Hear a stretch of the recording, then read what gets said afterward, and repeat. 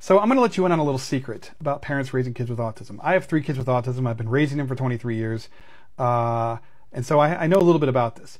Um, we are not perfect. We are not infallible, and we are not superhuman. I know there's this like thought process where we want to talk about like superhuman autism warrior parents, and I get that, and that's fine if that's your thing. But I worry that sometimes it sends a message that we have to be perfect.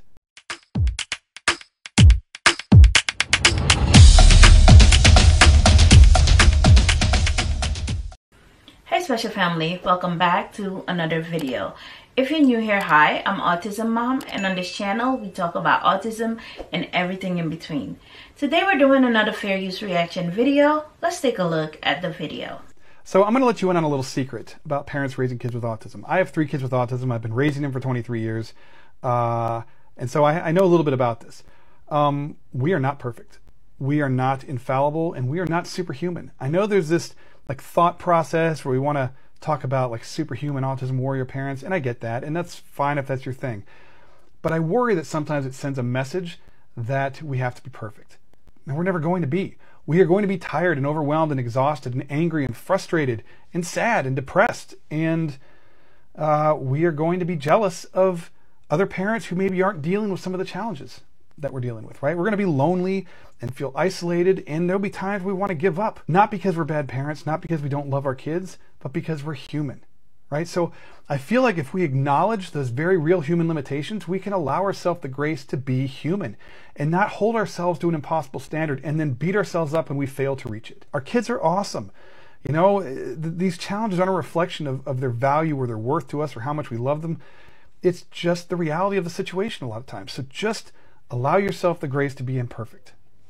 We all are, right? So you're doing a great job. You're doing a great job. Your kids are lucky to have you. I'm very proud of you. So uh, pass this along to somebody who needs to hear that. All right? Take care, guys. As a special needs mom, I appreciate hearing this. I needed to hear this because as I'm sitting here, I am going through it. And let me just break it down to you.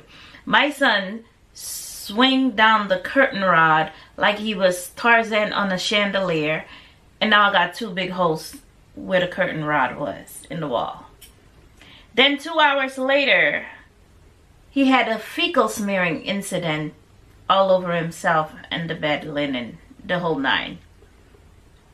Then a couple hours after that, while I was washing dishes, apparently I didn't close the bathroom door properly the neighbor was knocking on my door telling me that there's water leaking into her bathroom from my bathroom.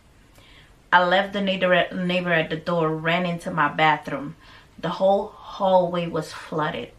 I opened the bathroom door and Ramsey is sitting in the water of the flooded bathroom with his iPad in the bottom of the sink. When I finish this video, I have to go to Apple to get a new communication device slash iPad. So yeah, I'm not doing okay. So I needed to hear this that I'm doing a good job because some days it'll take Jesus, the angels, and the Holy Ghost to get me through it. And this is someday. Let's go to the comment section. First commenter says, I cry all the time and I always am jealous of the parents that have neurotypical kids. It's hard. Everything is hard. I get you, mom. And you don't want to do that. It's easy for people to say, don't do that. But when you look at other kids your child's age and you're like, I can't even hear the words mom. You can't help it but do it. Next commenter. Definitely have run into the, the thoughts. Am I doing enough? Am I doing what's right? Am I as good as a parent as so and so? It's gotten better lately. But when those thoughts hit, they hit hard. I can only imagine. Next commenter, I struggle so much daily, especially with no support system. Your page helps me. Thank you. Thank you, Dad. I appreciate your page too. Next commenter, so needed this. I often feel jealous of others, especially when it comes to family gatherings, and we can't attend or stay very short periods. Can I get a witness? Next commenter, I just told my mom there's never an off time. No matter what my husband and I have to be aware. We don't even let other people babysit them except for my for like my mom. It's so hard. It's overwhelming. I totally get it. There's no off day. And you don't want other people to babysit because what if he floods their house? Now you're in a whole another predicament.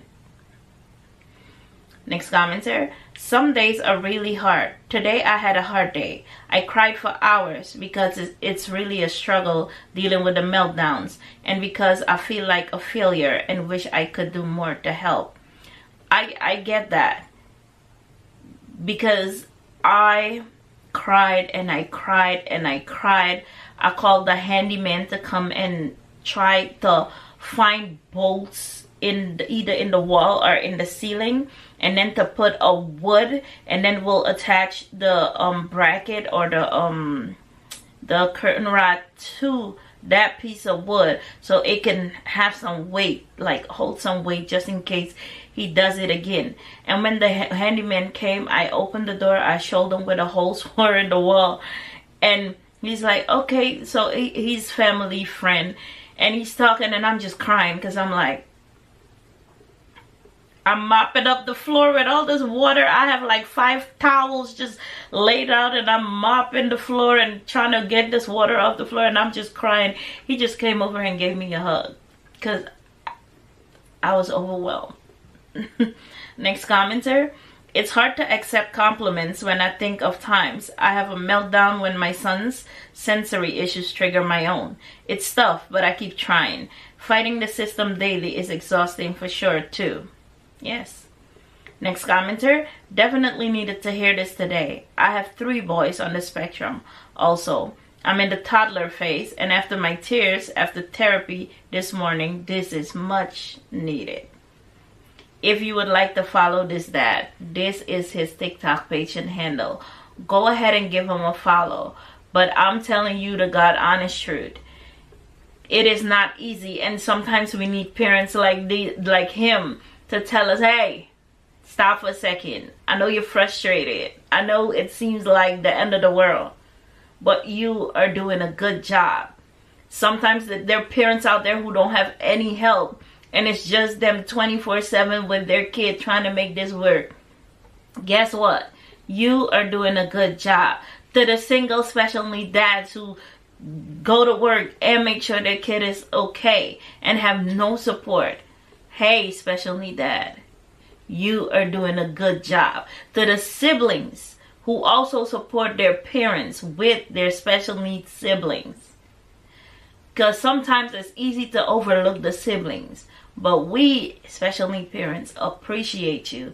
And guess what? You are also doing an amazing job. So from me to you, as this dad says, hey, you're doing a good job. Catch you in the next one. Bye.